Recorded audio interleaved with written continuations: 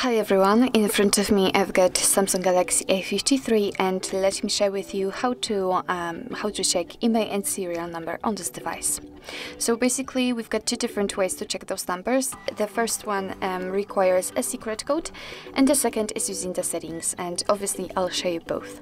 So let's begin with uh, the quicker one. Mm, so we have to open the dialer and enter the code which is asterisk pound 06 pound. And as you can see by this code we are provided with both IMEI numbers and also a serial number attached to this device. So let me tap on OK and let me show you another way to check those numbers. It will be quite useful if for some reason the secret code won't work. So let's enter the settings. Here we have to scroll down to the very very bottom to find About Phone. Here. And as you can see, we do not have to enter any of other options because here we've got the serial number and both IMEI numbers listed. So actually this is it, this is how to check IMEI and serial number in your Samsung Galaxy A53.